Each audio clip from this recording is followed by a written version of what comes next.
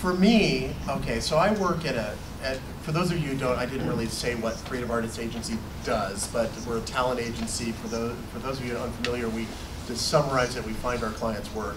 Um, we specialize in, uh, traditionally in the entertainment type of clients, you know, the motion picture and television stars, but also increasingly in uh, all kinds of things like speakers, and uh, we're becoming the largest sports agency in the world, that kind of thing, and we're moving internationally. And I think for me, the biggest thing uh, that I've noticed is, the biggest challenge I have is bringing IT solutions to bear that fit in the culture, that work in the culture. So like you were talking about data earlier, data, figuring out what cool things to do with data is easy for a technology person. We, in fact, I'll give you just one concrete example.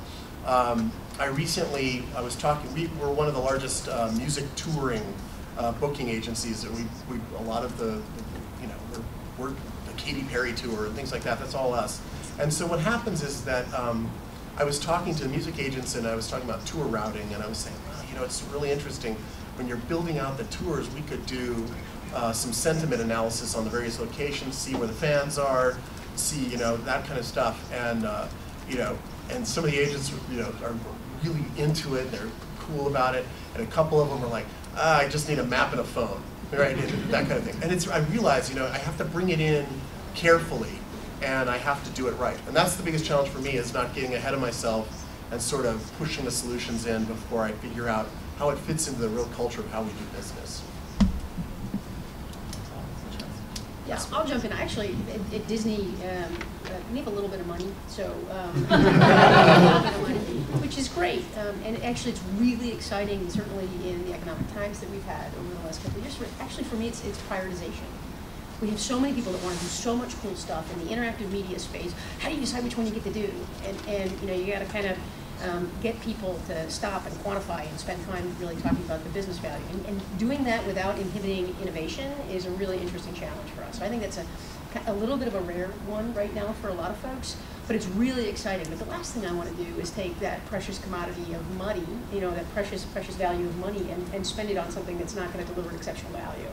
Right? And so I think everybody's in that same spot. We just happen to be in a place where we've got a million different ideas and a million different opportunities to do that.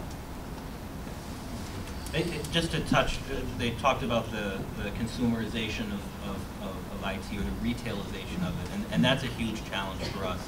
In um, the, on the one hand, you know, a lot of our stuff has been developed in the context of, of traditional corporate IT, um, but obviously as we move closer and closer and closer to the consumer, um, a lot of those uh, expectations and systems and uh, there are enormous changes uh, particularly when it comes to collecting people's information.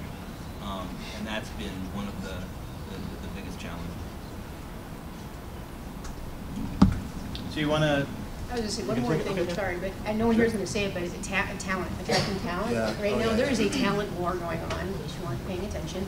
Yeah. Facebook said they're going to hire 6,000 people this year. You've got um, you, have got uh, Amazon, you've got uh, Google, you've got all these folks that are that are or that was Google was hiring six thousand people this year, sorry, and Facebook's probably hire twice that many, just for spite.